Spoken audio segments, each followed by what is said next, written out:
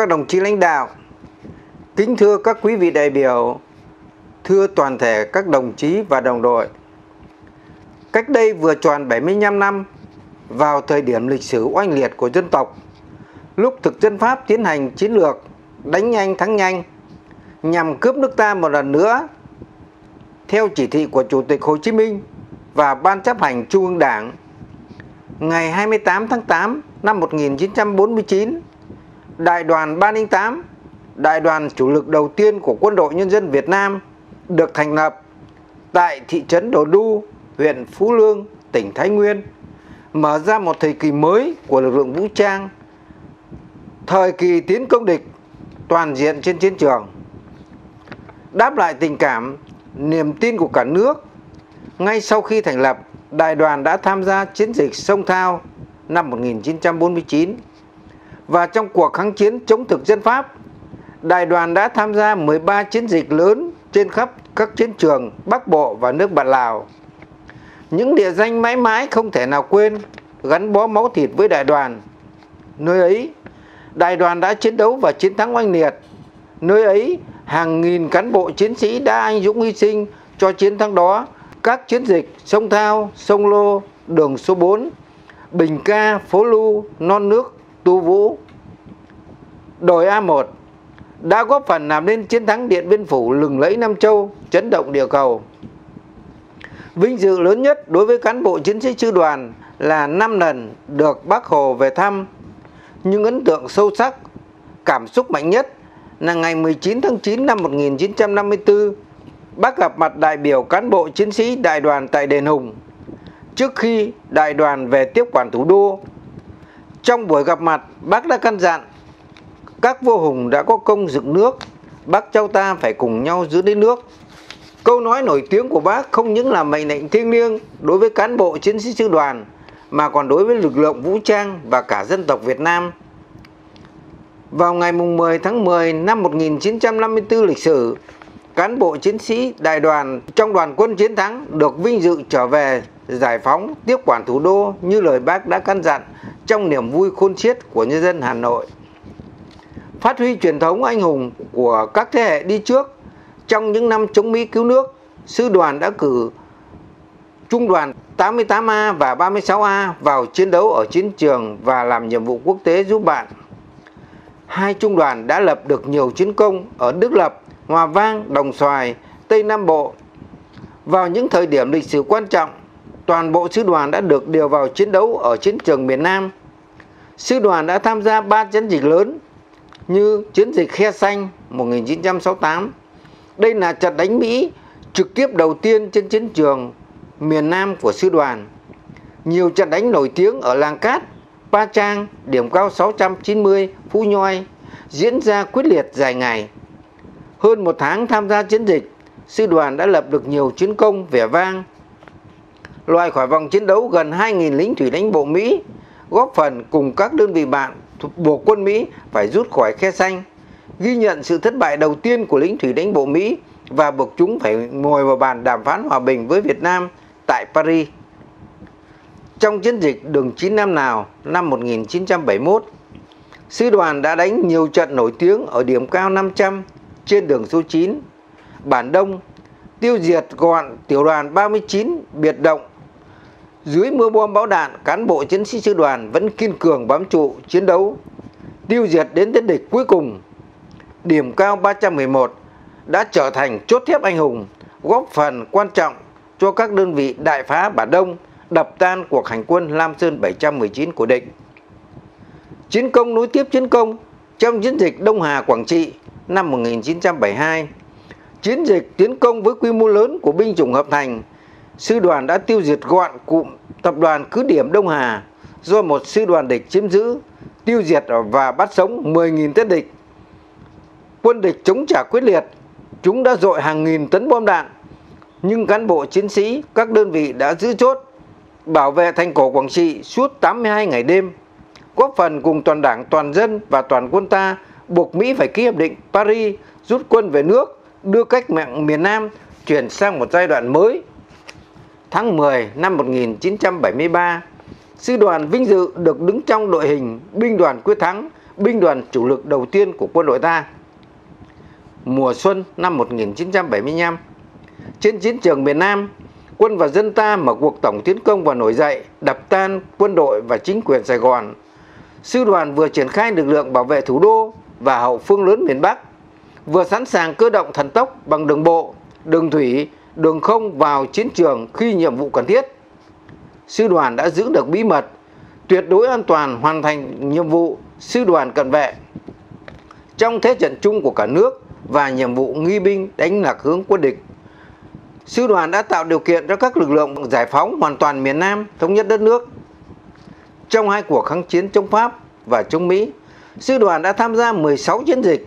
tiêu diệt và bắt sống 35.967 tên địch, thu và phá hủy 85 khẩu pháo, bắn rơi 210 máy bay,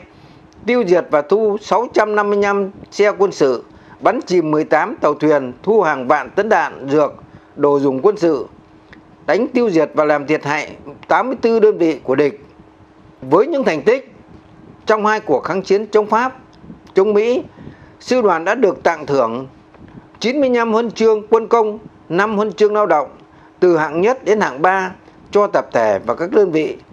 4.296 huân chương chiến công và quân công cho cán bộ chiến sĩ sư đoàn. Sư đoàn có 3 trung đoàn, 2 tiểu đoàn, 4 đại đội và 11 đồng chí được tặng danh hiệu Anh hùng lực lượng vũ trang nhân dân. Ngày 15 tháng 1 năm 1976,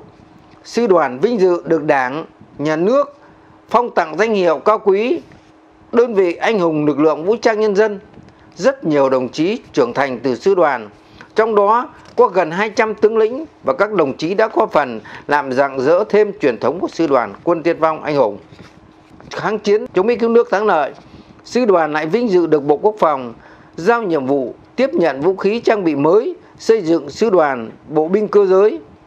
Sư đoàn đã không ngừng nỗ lực học tập, nắm vững khoa học kỹ thuật, xây dựng đơn vị bộ binh cơ giới có nền nếp, chính quy, trình độ khả năng tác chiến ngày càng cao. Trong các cuộc diễn tập lớn của sư đoàn, nhiều đồng chí lãnh đạo đảng, nhà nước, Bộ Quốc phòng đã đến thăm, kiểm tra, thể hiện sự tin tưởng và quan tâm sâu sắc, tiếp thêm sức mạnh, củng cố niềm tin và động viên cán bộ chiến sĩ sư đoàn tiếp tục hoàn thành xuất sắc mọi nhiệm vụ. Hơn 35 năm thực hiện đường lối đổi mới của Đảng, nhà nước ta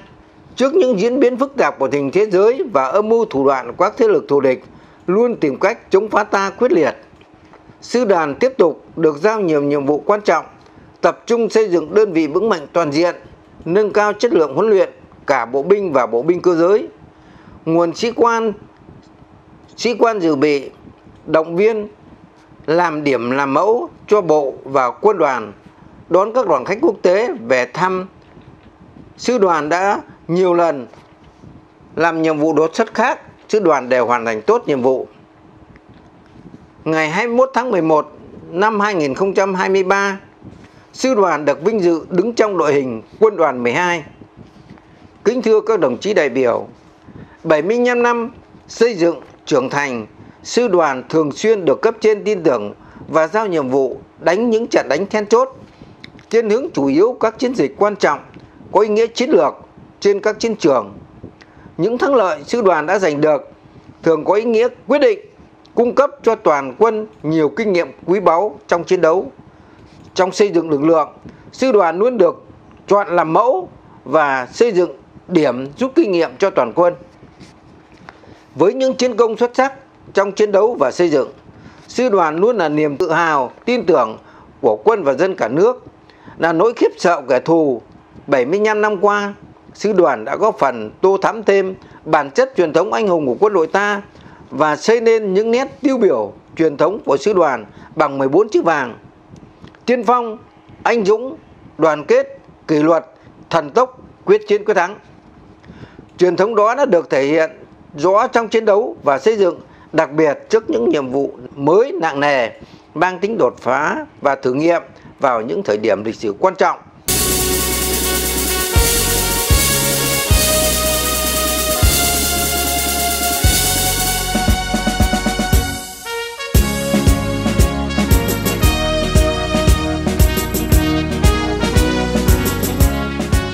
ôn lại truyền thống vẻ vang của sư đoàn qua 75 năm xây dựng chiến đấu và trưởng thành. Mỗi hội viên ban liên lạc cựu chiến binh sư đoàn 308 quân tiên phong thành phố Hải Phòng, chúng ta càng phấn khởi, vinh dự và tự hào là những người lính đã từng là cán bộ chiến sĩ của sư đoàn. Mặc dù đã trở về với đời thường, nhưng những người lính của sư đoàn 308 quân tiên phong năm xưa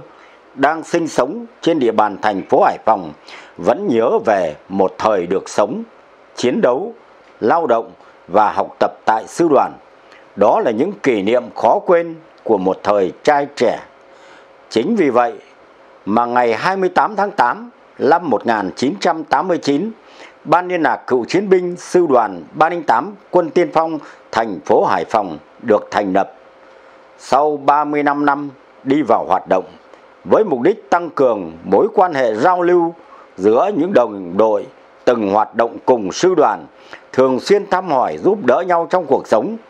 động viên nhau, chấp hành nghiêm mọi chủ trương, đường lối, chính sách của Đảng và pháp luật của nhà nước, các quy định của địa phương, luôn sống vui, sống khỏe, sống có ích là chia sẻ buồn vui với đồng đội. Ban liên lạc đã quy tụ được trên 400 hội viên đang sinh sống, làm việc và tham gia hoạt động tại ban liên lạc của 6 quận huyện và trung đoàn 3688 trên địa bàn thành phố. Từ khi thành lập ban liên lạc cựu chiến binh sư đoàn 308 quân tiên phong thành phố Hải Phòng đến nay, 6 lần tổ chức gặp mặt truyền thống kỷ niệm ngày thành lập sư đoàn 308, ban liên lạc của trung đoàn 3688 cũng 5 năm tổ chức gặp mặt một lần, kỷ niệm ngày truyền thống của trung đoàn, hội cựu trinh sát, hội cựu thông tin và ban liên lạc của các hội đồng ngũ hàng năm đều tổ chức gặp mặt kết nối, ôn lại một thời trai trẻ, tăng cường sự đoàn kết và động viên nhau luôn giữ gìn và phát huy tốt phẩm chất truyền thống của bộ đội Cụ Hồ. Những ngày gặp mặt ban liên lạc đều tổ chức dâng hương tại nghĩa trang liệt sĩ và tượng đài tri ân viếng các anh hùng liệt sĩ đã anh dũng hy sinh vì nền độc lập tự do của tổ quốc, vì hạnh phúc của nhân dân. Ban liên lạc của thành phố và ban liên lạc các quận, huyện đã làm tốt việc tri ân người có công, vận động, ủng hộ, quyên góp tiền, tổ chức trao tặng quà cho 114 lượt cán bộ hội viên là thương binh, nạn nhân chất độc da cam, gia đình liệt sĩ và mẹ Việt Nam anh hùng với số tiền 57 triệu đồng. Vận động hội viên quyên góp, ủng hộ, tạo điều kiện hỗ trợ cho năm gia đình là nạn nhân chất độc da cam và thương binh có hoàn cảnh khó khăn để sửa chữa nhà ở với số tiền là 68 triệu đồng. Tiếp tục phát huy truyền thống bộ đội Cụ Hồ, truyền thống quân tiên phong anh hùng, các hội viên trong ban liên lạc rất tích cực tham gia các hoạt động xã hội tại địa phương nơi mình sinh sống. Tính đến nay đã có 124 hội viên đã và đang tham gia làm tổ trưởng dân phố, bí thư chi bộ,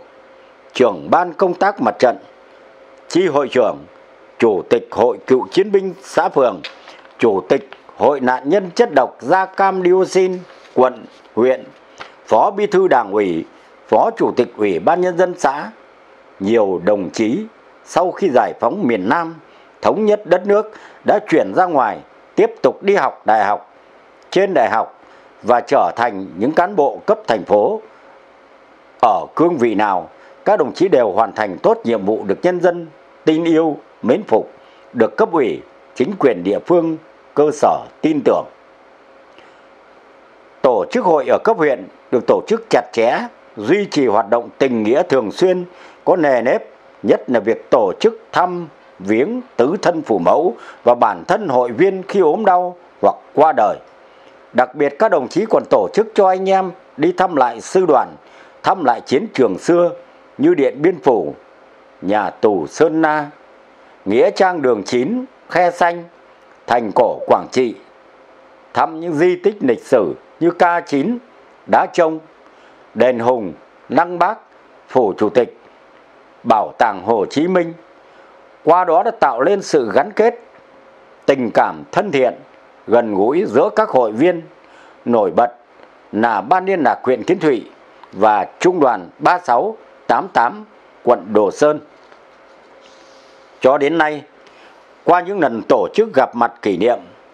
Ban Liên lạc thường xuyên được đón tiếp các đồng chí là lãnh đạo chỉ huy sư đoàn đương nhiệm, các đồng chí nguyên là lãnh đạo chỉ huy sư đoàn qua các thời kỳ và các đồng chí lãnh đạo đảng, chính quyền địa phương, lãnh đạo hội cựu chiến binh cùng về dự. Đặc biệt các lần tổ chức gặp mặt tại trung tâm huyện Kiến Thụy, Ban Liên lạc đều đón nhận được sự quan tâm sâu sắc, tạo mọi điều kiện thuận lợi, giúp đỡ tận tình của huyện ủy, hội đồng nhân dân, ủy ban nhân dân, ủy ban mặt trận tổ quốc Việt Nam huyện và các phòng, ban chức năng của huyện để buổi gặp mặt đạt kết quả thành công cao. Đó là nguồn cổ vũ, động viên anh em cựu chiến binh sư đoàn, giúp ban liên lạc tiếp tục duy trì hoạt động mang lại kết quả ngày càng tốt hơn.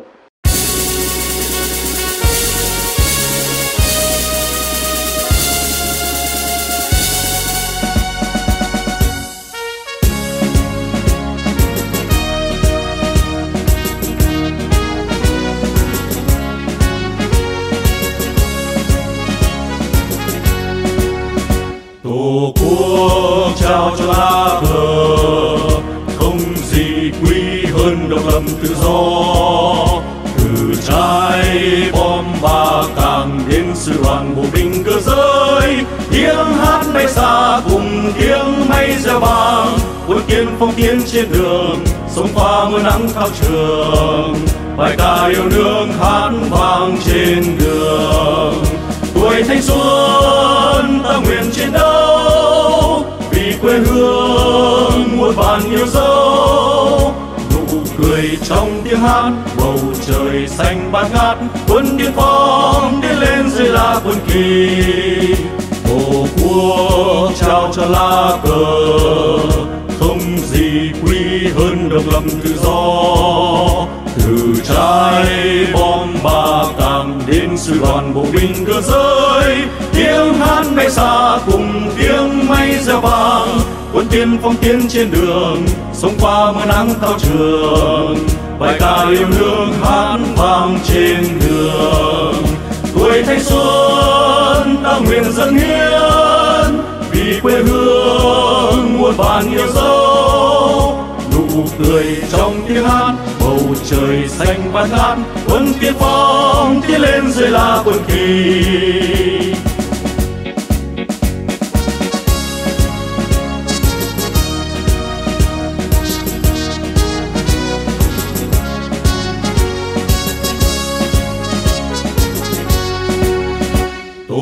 Quốc trao cho lá cờ.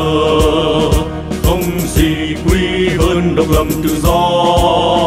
Từ trái bom và càng đến sư đoàn bộ binh cơ giới tiếng hát bay xa cùng tiếng máy reo vang. Quân tiên phong tiến trên đường, sông pha mưa nắng thao trường. Bài ca yêu nước hát vang trên đường.